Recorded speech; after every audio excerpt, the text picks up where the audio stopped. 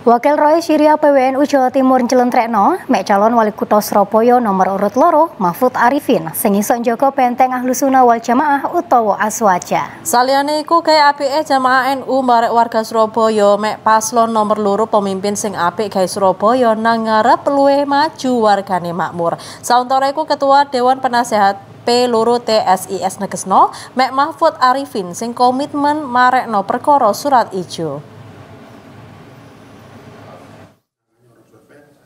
Surabaya dadi ingkang sejarah KNU barek kemerdekaan Indonesia.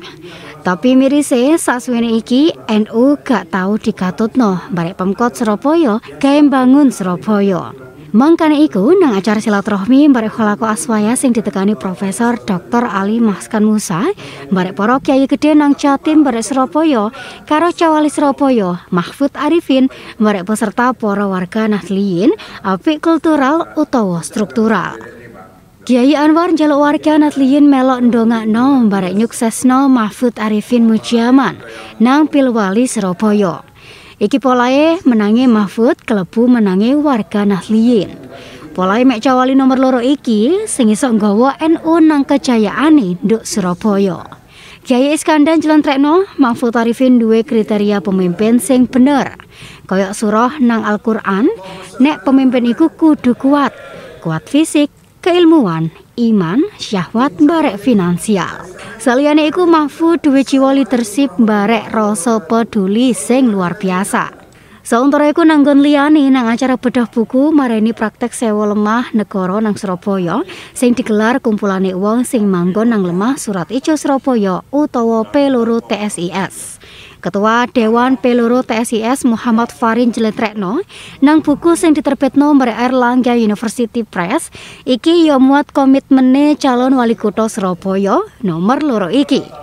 Ketua Dewan Peloro TSIS Muhammad Farin Jelentrekno nang buku sing diterbitno ambare Erlangga University Press iki yo muat komitmene calon wali kutha Surabaya nomor loro iki sing ape bareng-bareng rakyat marekno perkara lemah surat ijo.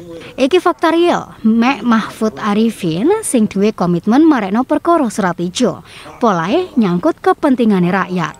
Sementara kaitan barek nyebare kontrak politik Eri Armuji sing ape ngecelung serat ijo, capote Bupati Lamongan iku negesno nek kontrak politik iku gak jelas alias ruwet. Barek sasuwene iki, wong sing manggon serat ijo gak tau nglakokno perjanjian politik barek Eri Armuji. Sementara calon wali kota Surabaya Mujiaman sing teko nang acara iku ngomong, nang buku iku wis muat sejarah surat ijo, dasar hukum barek solusine. Saiki karek niat barek karepe pemimpine. Lah Mahfud Mujiaman barek teges siap berjuang barek warga Surabaya ke surat ijo dadi SHM. Kame iku retribusi surat ijo yo diusap. Perjalanan surat ijo dibukukan baik sejarahnya, dasar-dasar hukumnya, solusi alternatif solusinya semua sudah dibukukan. Artinya tinggal, tinggal kehendak politik dan kebijakan pemimpin. Mahfud Arifin Mujaman akan berada di pihak masyarakat, akan di pihak rakyat untuk memastikan surat hijau bisa menjadi SHM. Dewi Imraatin, JTV.